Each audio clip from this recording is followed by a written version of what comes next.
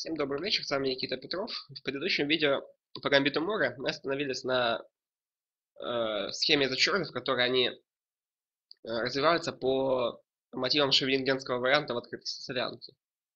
Э, в начале же да, данной серии видео мы поговорим о других схемах, в которых черные выводят слона на g4, или, по крайней мере, пытаются это сделать.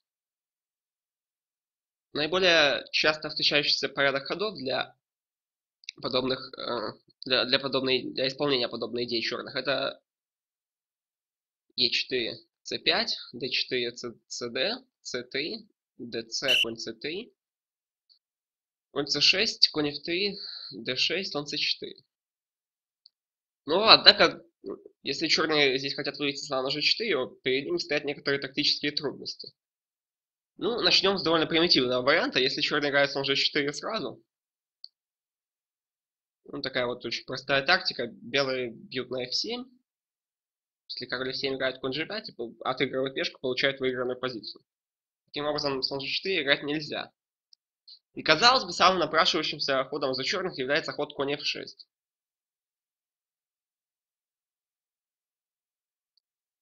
Однако, как, как ни странно, ход конь f6, ход конь f6 в данной позиции не работает. Тому есть конкретное объяснение. Дело в том, что после конь f6 у черных, простите, у белых есть сильный ответ e5. То есть э, идея черных в том, что если белый играет, например, 2 0, или любой другой неконкретный ход, то после слон g4 позиция, на мой взгляд, уже сильно в пользу черных. Потому что слон развивается на очень удобную активную позицию, нет ни позиции ни одной слабости, какие атаки по центру за белых не проходят. Но, к счастью, находится ход Е5. После него белое все срастается. Начнем с того, что у черных конь под боем, они должны как-то эту проблему решать. Есть три возможных ответа. Только один из них заслуживает серьезного внимания. Два остальных проигрывают. Но ход конь Е5 проигрывает просто элементарно. Э, потому что белый отвечает, конь бьет Е5, ДЕ, слон бьет F7. Ну, такая вот тоже типичная тактика. Король бьет F7, ферзь бьет D8, а белых лишний ферзь. С ходом DE разобраться, конечно, несколько сложнее, но тоже возможно. Здесь вот белые меняются на D8. Казалось бы, странно. Гамбитная игра, две пешки пожертвованы, а белые меняют ферзей. Но все решает конкретика. Теперь, если черные бьют королем на D8, Э, за белых проходит сильный ответ конь g5. И, как нетрудно убедиться, черным здесь невозможно защититься от всех угроз. Конь бьет на f7, э, какой-то другой конь в скачет на b5. В общем, отвратительная позиция здесь у черных, видимо, просто проиграна. Поэтому единственный ход, заслуживающий внимания, остается ход конь d8. Здесь белые продолжают конкретную игру по слабостям, играют конь b5, попадает на вилку на c7. В общем, достаточно забавно, но в интернете хоть меня часто играли здесь король d7. Я давал мат. Вот такой. Ну, разумеется, ход король d7 абсолютно несерьезный. Нужно играть как-то по-другому. А конь e6 не проходит, потому что белые сначала выбивают коня, потом делают вилку, забирают ладью в своей игранной позиции. Поэтому единственным разумным ходом остается ладья b8.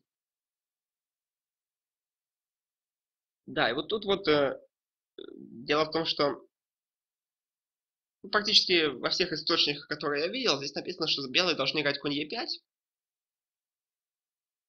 Да, и после, после Е6,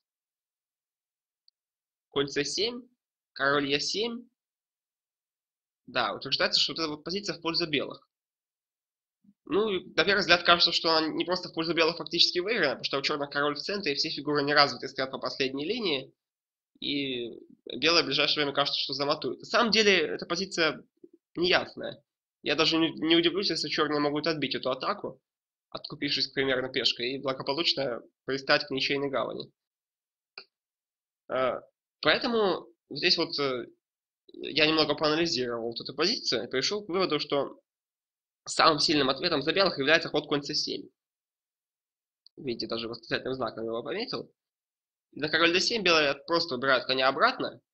И вот в этой, в этой редакции черным очень, очень легко, очень тяжело защищаться. Угрожает конь Е5 и каких-то разумных методов обороны придумать крайне тяжело. То есть вот тот вариант, который я сейчас приведу, это первая линия компьютера за обе стороны. Ну и вы увидите, насколько чертом там тяжело жить. Е6, конь где-то Е5, король Е7, Б3 с угрозой слона 3 и матом. Конь d7 единственный ход, слон f4. Размен на e5, ладья 8, конь c7. Начинаются конкретные тактические проблемы. Ну, видно, что следующим ходом белые переведут ладью на e1, и черным вряд ли суждено продержаться в этой позиции больше, чем 10 ходов. То есть оценка компьютера здесь плюс 1, но, наверное, реальный перевес белых даже больше. Однако, вот казалось бы, ход конь f, 6, то есть, простите, да, ход d6 в этой позиции, он слабый, опровергается ходом e5, но не все так просто. Черным здесь есть ответ конь g4. Должен признаться, что в Блиц против меня ни разу до сих пор так не сыграли. Все били на e5 той или иной фигурой. Однако было бы нечестно по отношению к моим слушателям обойти вниманием э, конь g4. Этот вариант мы, конечно, рассмотрим сейчас. И должен признаться, что я не могу сказать, что я нашел здесь за белых перевес. Какая-то активная позиция приятная есть, но прямого перевеса, если честно, не видно. Сразу говорю, что для тех, кто любит приключения, ну и, в общем, я думаю, что для Блица этот вариант вполне подойдет. В белом здесь есть ход Е6. Э, то есть, если сейчас черные бьют на Е6, то следует слон бьет Е6. Фе, конь g5, конь под боем, коня надо убирать, конь e6, ферзь d7, ферзь e2. И у, белых здесь мощная компенсация за потерянный, за пожертвованную пешку, потому что король черный задерживается в центре, конь на e6 очень мощная фигура, сбить его оттуда нелегко. Ну, видно, что у черных также не развиты добрая половина фигур. То есть в этой позиции у белых более чем достаточная компенсация. Основная проблема с этим вариантом связано с тем, что черные могут побить пешкой на e6. И вот здесь больше... Э, здесь э, не настолько легко за белых продолжить атаку. Опять же, буквально приведу первые три хода из своих компьютерных анализов.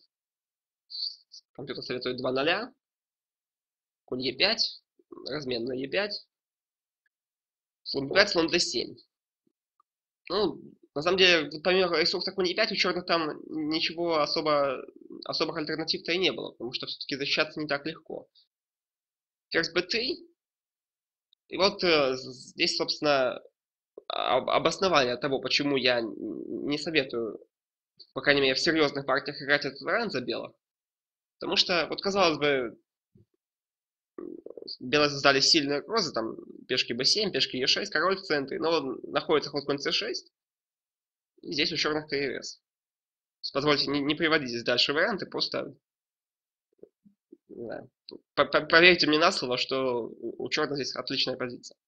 Другое дело, что с практической точки зрения я не уверен, что много э, блицоров, например, на той же шахматной планете, даже с большими рейтингами, вот, найдут в этой позиции ход конь c6. Если они его не делают, то у черных сразу хуже. Так что, как я вот и говорил, применяйте на свой страх и риск.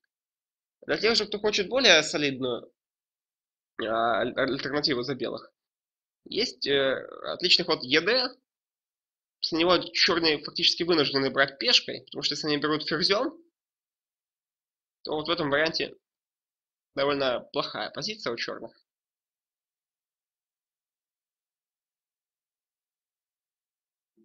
Ну, опять же, вариант примерный, наверняка здесь были какие-то альтернативы, но сути дела не меняет это все.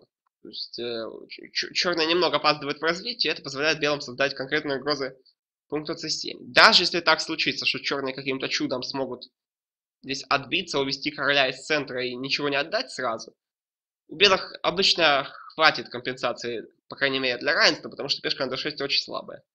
А у белых все фигуры стоят очень активно. Таким образом, ход ферзь d6 слабый, поэтому сильнее играть ед. 2 0, слон e7, слон f4, 2 0, ферзь e2. Ну, вот опять же, примерный вариант. Сейчас белые ставят одну ладью на d1, другую ладью на c1. Ну и рассчитывают на сильное давление по центральным вертикалям. Хотя должен честно признаться, что вот компьютер утверждает, что в этой позиции у белых лучше. То есть даже несмотря на потери на пешку, Гудини говорит, что у белых мощная инициатива. Я же вот скорее склоняюсь к мысли, что наиболее вероятный исход борьбы в такого типа позициях, то что черные более-менее благополучно разовьются, белые за это время, конечно, легко отыграют пешку от d6 и получат небольшую инициативу которую черные при, в общем-то, своей разумной игре смогут нейтрализовать, и, на мой взгляд, наиболее вероятный исход борьбы в этой позиции – это ничья. Однако, какие-то фактические шансы белые сохраняют, и, в общем-то, я вполне могу рекомендовать этот вариант для применения. Тем более, что другой разумной альтернативы, вот кроме хода Е5 и готовности пойти на вот эту позицию, у белых нет. Ну, в общем-то, черные умные черные стали понимать, что в этой позиции играть конь f6 невыгодно. Поэтому примерно в конце 90-х годов здесь родился вариант с ходом a6. Идея простая. Вот если сейчас белые делают ну, любой ход, например, 2-0, ну, собственно, 2-0 это наша главная линия, конь f6, у белых, у белых теперь нет ресурса e5. То есть легко заметить, что после e5 черные могут просто побить на e5, да, и на ферзь d8 побить конем на d8. И нет хода конь b5. Э, получается, что белые просто без пешки и без особой компенсации в этом варианте. Ну, конечно, половить рыбку в мутной воде можно и здесь, но, опять же, с точки зрения объективной оценки позиции, все это не слишком солидно.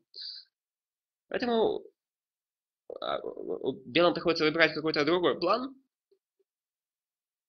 Здесь, ну, кратко мы рассмотрим три, три идеи за белых. Ход конь d5, ход слон f4, ход слон e3. Э, ну, как бы, дело в том, что основной рекомендацией будет ход слон f4, но ход конь d5 это вот моя разработка. Видимо, достаточно неплохая. Начнем с того, что белые угрожают испортить прическу на королевском фланге, после чего им будет гарантирована компенсация за материал. Поэтому за черных напрашивается ход Е6. Тогда белый меняется на F6, ферзь бьет F6, слон G5. Опять же, ну, не брать на B2 довольно глупо, потому что получается, что у белых практически бесплатная инициатива. Поэтому оставляя, основная линия ферзь бьет B2, и здесь ладья B1. После ферзя 3 компьютер, ну, программа Гудини, по крайней мере, утверждает, что если у черных перевес, в связи с тем, что у них две лишние пешки. Но перевес небольшой, то есть, э, по-моему, 0-2 в пользу черных. На мой взгляд, позиция вполне игровая, особенно для Блица. Белые могут просто убрать ферзя с d1, поставить ладью на d1 или на c1 и организовать сильное давление на, э, на центр, на пешки, пешку d6 в первую очередь. Кроме того, черным не так легко завершить развитие, потому что ход слон e7 во многих случаях будет наталкиваться на размен на e7, с чего устраняется главный защитник пешки d6 и вообще черных полей, и у белых получается достаточно неплохая компенсация за материал. Однако э, риск здесь, конечно, присутствует, а риск весьма немалый. Поэтому, опять же, уже во второй раз за это видео повторю, что играть так можно, но только если вы хорошо чувствуете инициативу и не боитесь жертвовать материал за, скажем так, не до конца ясную компенсацию. Э, собственно, другой ход за белых это слон Е3. Я практически всегда в блиц играю слон Е3. Ну, ход такой немного, лову, немного ловушечный, потому что э, шахматисты, которые применяют черными вот этот вот вариант с ходом А6, дальнейшей вот такой вот расстановкой коней, они практически на любые ходы белых здесь играют слон g4. Ход слон g4 это если не ошибка, то по крайней мере не точность. Потому что белые могут ответить ферзь b3, и видно, что вот это вот двойной удар на пешку b7, на пешку f7. И защитить их одновременно не получается. Лучше, лучший шанс за черных здесь сыграть e6. После ферзь бьет b7, конь a5. Ну, опять же, вместо e... можно, конечно, посмотреть другие возможности вместо Е6, но то есть есть какой-то ход слон H5, но серьезно его рассматривать даже, если честно, не хочется. Достаточно сильный есть ход конь G5, но, видимо, проще всего просто ферзь B7. И по сравнению с вариантами, которые вот вы увидите в дальнейшем, у черных не хватает темпа для развития хода E6, который очень им пригодился бы. Поэтому возвращаемся к главной линии. Ну, взятие на b7 вынуждено, иначе вся эта вылазка ферзя не имела смысла. Ну, конь под боем, единственный разумный ход конь a5. На другие ходы просто теряется пешка на 6 и уже у белых лишний материал. Какая-то цепочка форсированных ходов, потому что две фигуры под боем, вот ферзь b4 вынужден. Ну, сразу заметим, что, что и, то есть здесь единственный разумный ход э, за черных это слон бьет f3, g, конь c4, ну или в другом порядке. То есть d5 не походит, потому что у белых есть промежуточный шаг. В дальнейшем они вскрывают центр и добираются до неархированного черного короля. Единственное, что я хочу отметить вот по поводу этого ресурса d5, что иногда бывают позиции, где черные делают вот э, какой-нибудь нейтральный ход, например, слон d7. И здесь вот так играть не стоит. Потому что в этой позиции d5 уже выигрывает. Поэтому белым стоит здесь ограничиться более спокойными способами развития. Например, сильно выглядит типичный план с ходами ферзь e2, e6, ладья fd1. И слон на d7 немного нарушает координацию черных фигур. Но опять же, я немного отвлекаюсь от темы. Вернемся к главному варианту. размен на f3, размен на c4, слон e7. Ну, ладья на d1, 2 0. Позиция практически равная. Если у кого-то и есть небольшой перерыв, то все-таки, наверное, у белых, потому что давление по центральным вертикалям, а использовать слабость пешки f2, f3 в этой позиции очень тяжело. Единственное, что не стоит спешить с ходом e5, потому что очень часто у черных есть разумный и сильный ответ конь e8, после чего непонятно, чего, собственно, белые добились продвижения d5, кроме, кроме слабости в своем лагере. Заслуживает внимания простой логичный ход ладья на c1 или, может быть, король h1, с чего позиция, видимо, можно оценить как плюс ровная. Однако же ход слон e3 это не главный ход за белых. И проблема тут в том, что черные могут сыграть e6, перейти вот к шевенингенским построениям.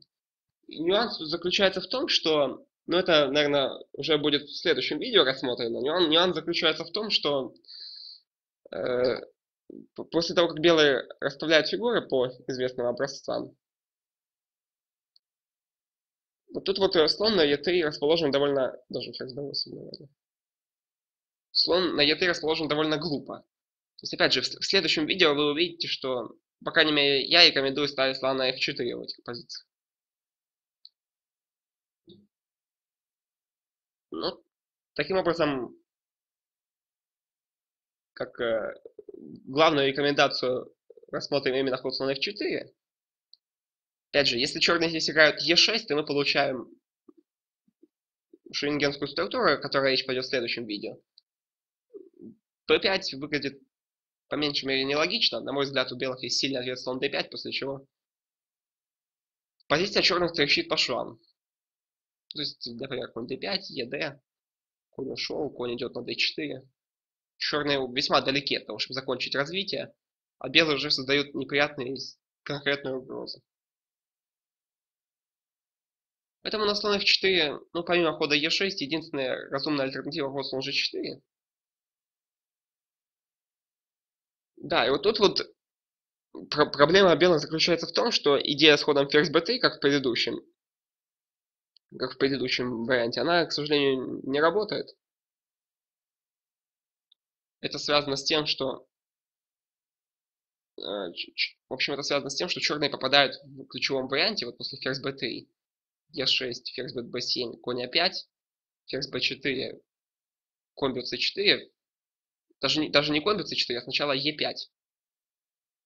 Да, ну да, да, простите, я, конечно, сейчас покажу этот вариант на доске. Ферзь b3, e6, ферзь бьет b7, конь a5, ферзь b4.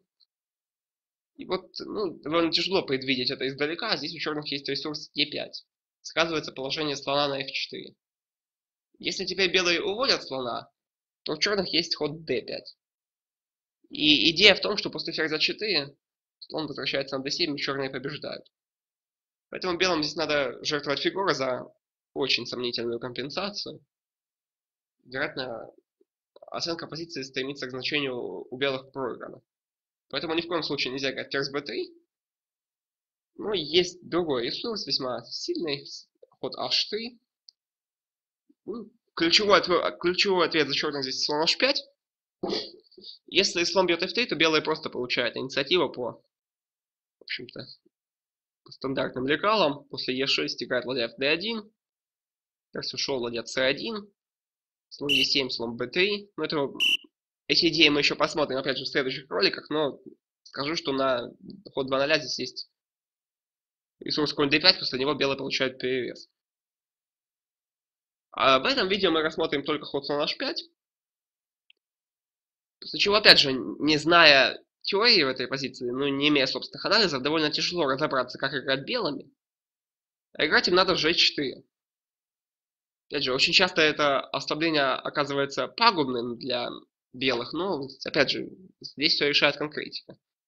Начнем с того, что жертва на g4 абсолютно точно не проходит, потому что белые просто берут на g4, а потом берут на f7. Это мы сегодня уже видели по немного другой позиции. Играют конь g5 и побеждают. Поэтому единственный разумный ход слон g6. Тут вот еще один ход, который, возможно, не очень хочется делать, но делать его приходится, потому что иначе белые остаются без компенсации. Надо играть e5. После размена выбивать на e5. Ну, не менять ферзей черные не могут, потому что в противном случае ферзь уйдет на а4 или на b3. Белые поставят ладьи по центру и дадут мат. Поэтому размен обязателен. Ну и, казалось бы, черные ну, разменяли ферзей, фактически выполнили одну из главных задач гамбите Мора. И казалось бы, что никакой особой атаки за белых здесь найтись не может. Однако не все так просто. Дело в том, что а, видно, что даже, даже при размене на ферзях у черных довольно большое отставание в развитии. Потому что пешка на e7 еще стоит на своей начальной позиции. Была бы она на e6, была бы совершенно другая картина. А если черные сейчас играют e6, то у белых есть выбор между простым развитием ладья на c1, после этого слон уходит, конь уходит на a4, ладья вторгается на c7 с компенсацией. К тому же обратите внимание, что во многих вариантах после того, как черные развивают слона, белых есть ресурс g5 и на конь h5 f4. После чего конь на h5 это фигура, которая далека от своей оптимальной стоянки. Более того, черным неким защищать пункт вторжения d7. Ну что, наверное, даже важнее, есть вот такой вот ресурс. Слон b3, слон e7, слон a4. А, лишаться рокировки не хочется, надо поэтому играть b5. И вот, как ни странно, в этой позиции у белых неплохая компенсация за потерянную фигуру, потому что пешки бегут быстро, а черным для того, чтобы э, выковырить свою фигуру с королевского фланга, надо потратить очень много темпа. За это время белые пешки двинутся очень далеко. Таким образом, можно сделать вывод, что вот в этом матчпле, если это можно так назвать, у белых хорошая компенсация и шансы, шанс на получение перевеса. Поэтому, на мой взгляд, сильнее за черных не играть на g4, а играть e6, переходить к швейнингенской структуре. Однако, как ни странно, более популярными э, черных является построение с ходом e6. Возможно, это объясняется тем, что подсознательно хочется ограничить сферу действия слона, белопольного слона. То есть теперь, когда он выйдет на c4, он будет опираться в пешку e6. Однако тут опять же есть конкретные детали. связанные с тем, что после хода слон c4, который, казалось бы, позиционно неграмотный, условно после этого упирается в пешку e6, у белых во многих вариантах появляется ресурс какой-нибудь d5. Кажется, что это в большинстве случаев некорректная жертва, однако это не так. Во многих позициях удар конь d5 очень силен, ставит короля черных в достаточно опасное положение. Тут у черных довольно широкий выбор ходов. Ну, вот конкретно в данном видео, видео мы посмотрим только весьма популярный за черных вариант с ходами 2-0, конь g7. План черных просто, они хотят сыграть конь g6, слон e7, 2-0. После этого ни одна из черных фигур не попадает под пешечные тычки. Удар конь d5 нейтрализован, и кажется, что позиция черных неплохая. Однако тут не все так просто. А, белым необходимо знать в этой позиции ключевой ресурс слон g5. Ход выглядит по меньшей мере странно, однако в нем, за, за ним есть такая конкретная идея. Во-первых, начнем с того, что ну, слон уже сильно стесняет развитие черных, поэтому им хочется его прогнать либо ходом f6, либо ходом h6. Ну вот, э, как ни странно, ход f6 является основным теоретическим продолжением. h6 вот против меня до сих пор не сыграли ни разу. Ну, вот мои анализы скорее говорят о том, что h6 ход э, более надежный и более сильный. Ну, кратко кратко еще сейчас расскажу о теории хода f6. Дело в том, что более подробно теория этого варианта э, тоже будет рассматриваться в другом видео, которое скорее будет э, посвящено даже не сколько теории, а разбору одной очень интересной красивой партии, в которой был сыгран именно вот этот вариант. Ну, кому, не, кому не терпится ее посмотреть, скажу, что играли мне американский международный мастер Марк Рессерман и известный голландский гроссмейстер Люк Ван Вели. Ну, а, а пока только скажу, что белые в этой позиции должны убирать слона на e3, после конь g6 играть слон b3. И вот тут вот э, выясняется одна из главных идей. На напрашивающийся ход b5 в этой позиции проходит удар конь d5. Но опять же, подробности будут в другой части Э, вот этой вот серии видео по гамбиту Мора, пока скажу, что на любой другой развивающий, развивающий ход вроде слон Е7, белый играет просто ладья Е1 или даже ферзь Е2. После этого черным довольно тяжело с комфортом закончить развитие, потому что на ход 2 0 всегда следует конь d5. ЕД, ЕД, и следующим ходом скрытый шах, и белые выигрывают материалы и получают позицию с перевесом. Например, поступим d5, d6, de. Видно, что два слона очень сильны. Ну а после b5, конь d5, там довольно большой пласт теории возникает после принятия жертвы коня. Ну, в общем-то, везде у белых достаточно компенсация. Всем спасибо, кто посмотрел данную часть э, большого видеоролика. Следующая часть выйдет э, завтра вечером. В ней будет э, рассказываться о вариантах, в которых черные выводят ферзя на c7.